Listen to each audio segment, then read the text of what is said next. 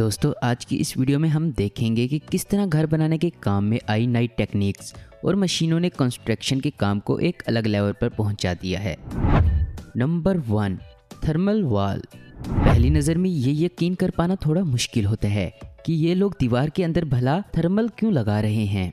मगर इसकी वजह जानकर आप भी हैरान रह जाएँगे। जैसा कि आप देख सकते हैं, ये मिस्त्री दो दीवारों के बीच में थर्मल कोल की शीट लगा रहा है। इनके ऐसा करने से जब गर्मियों में बाहर की तरफ़ इन दीवारों पर धूप पड़ेगी या फिर लो वगैरह चलेगी तो बाहर से तो बेशक दीवारें गर्म हो जाएँगी। मगर दीवारों के बीच में थर्मल कोल लगा होने की वजह से गर्मी की वो तपिश थर्माकोल को पार नहीं कर पाएगी और घर के अंदर नहीं आ पाएगी। और घर के अंदर का टेम्परेचर नॉर्मल बना रहेगा और आपको गर्मी महसूस नहीं होगी। बिल्कुल इसी तरह से सर्दियों में भी ये थर्माकोल दीवारों के अंदर ठंड को घुसने से रोकेगा और घर के अंदर टेम्परेचर को नॉर्मल बनाए रखने में मदद करेगा।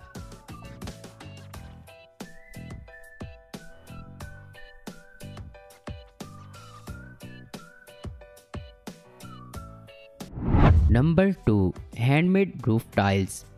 घर की छतों पर लगने वाली टाइल्स को हाथ से बनाने का ये अनोखा तरीका इस मजदूर की ज़बरदस्त मेहनत का एक नमूना है।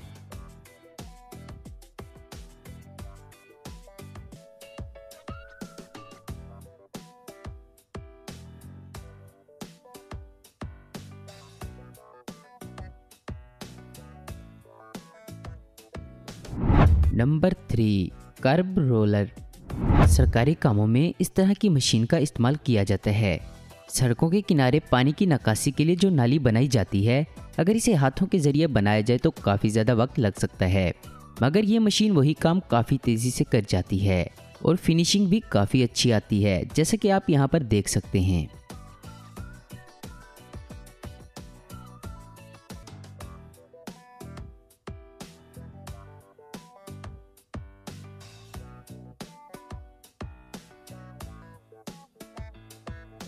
Number four, max reaper. घर का काम होने के बाद बारी आती है इसमें वायरिंग के लिए सुराख बनाने की, जहाँ पर आज के दौर में इस मशीन ने इस काम को काफ़ी आसान कर दिया है। जहाँ पहले घंटे लग जाते थे हथौड़ी और छेनी के ज़रिए इस काम को करने में, वहीं आज ये काम महज कुछ मिनटों में ये मशीन कर जाती है।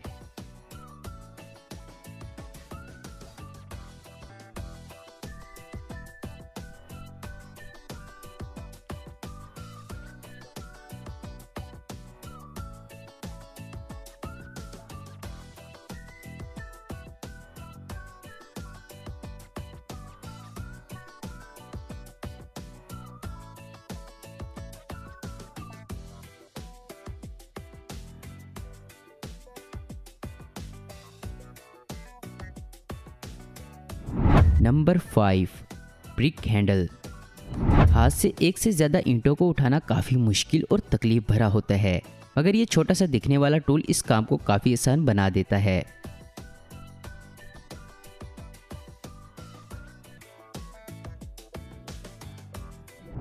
Number six, cement mould design. घर बनाते वक्त घर में कुछ ऐसी जगह होती हैं जहाँ लोग बिल्कुल हटकर काम करवाते हैं, जैसा कि ये सीमेंटेड ढांचा। दरअसल यहाँ पर ये कारीगर इस छोटे से बगीचे के लिए इस कस्टम सीमेंटेड ग्रिल को इन प्लास्टिक से बने सांचों के ज़रिए शेप दे रहे हैं, जो कि वाकई में दिखने में काफ़ी खूबसूरत लगते हैं और इन कारीगरों की कमाल की कारीगरी की भी मिसाल देते हैं।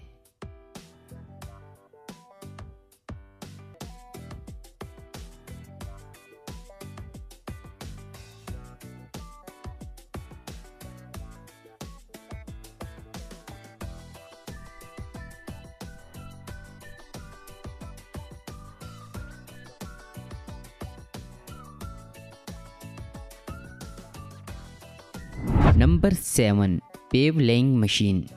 आज भी काफ़ी जगहों पर सड़कों और फुटपाथ पर बिछने वाली टाइल्स को एक एक करके हाथों से ही बिछाया जाता है, जहाँ काफ़ी ज़्यादा टाइम लग जाता है।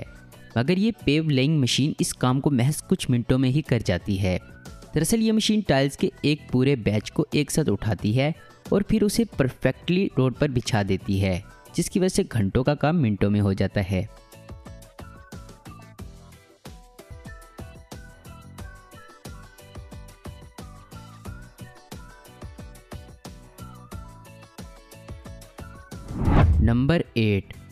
Tiles cutter. टाइल्स के ज़रिए फुटपाथ बनाने में सबसे मुश्किल काम होता है किनारों पर बचने वाली जगहों को भरना, क्योंकि टाइल्स एक ही साइज़ की होती हैं और इन्हें उस बची हुई जगह के हिसाब से काटना मुश्किल होता है। तो ऐसे में काम आती है ये मशीन जो टाइल्स को बिल्कुल परफेक्ट शेप में काट देती है और इन खाली कोनों को बिल्कुल सफ़ाई से भर देती है।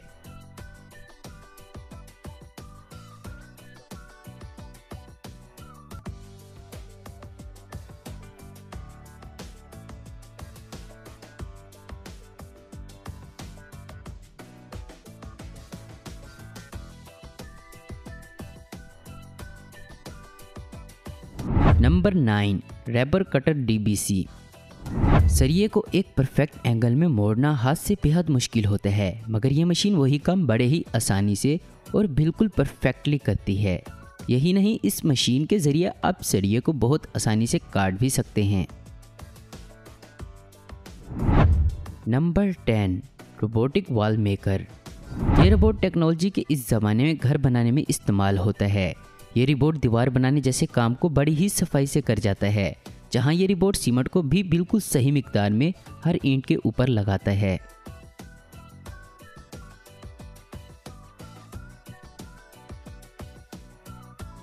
Number 11 tape wall design. यहाँ पर दीवार पर डिज़ाइन बनाने के लिए एक ख़ास तरह की टेप का इस्तेमाल किया जा रहा है, जो कि वाकई में दीवार पर डिज़ाइन बनाना काफ़ी आसान बना देता है।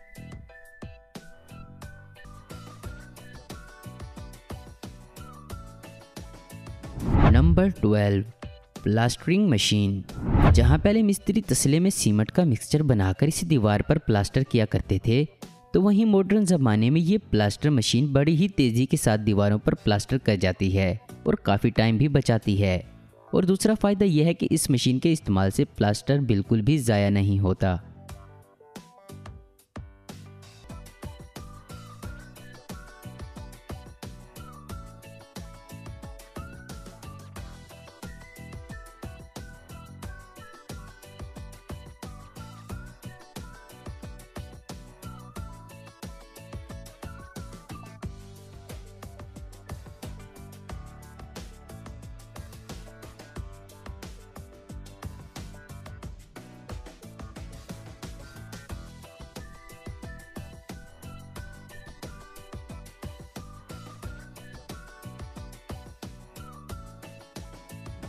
Number thirteen, plaster laying machine. घर की दीवार बनाने के लिए यह मशीन आज के ज़माने में काफ़ी इस्तेमाल की जा रही है। दरअसल इस मशीन का सबसे बड़ा फ़ायदा यह है कि इसमें फिनिशिंग काफ़ी अच्छी आती है और सीमेंट बर्बाद भी नहीं होती।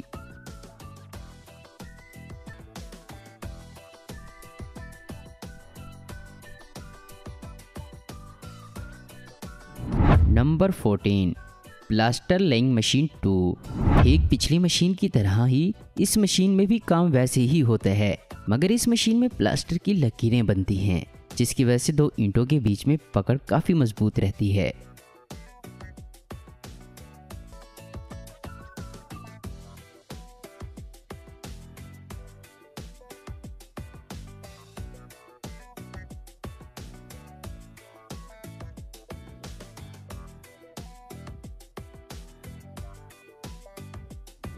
Number 15 Probst level fixer. Footpath पर टाइल्स बिछाने से पहले उसको रेत डालकर बराबर किया जाता है और लेवल करने का काम अगर हाथ से किया जाए तो काफ़ी ज़्यादा टाइम ले सकता है, मगर ये आम सी दिखने वाली मशीन इस काम को बड़ी ही आसानी से कर जाती है। इस मशीन की एक और ख़ासियत है कि आप इस मशीन को जगह की चौड़ाई के हिसाब से कम ज़्यादा भी कर सकते हैं। इसे आप सिर्फ़ फुटपाथ लेवल करने के लिए ही नहीं, बल्कि अपने बागीचे को भी प्लान करने के लिए भी इस्तेमाल में ला सकते हैं।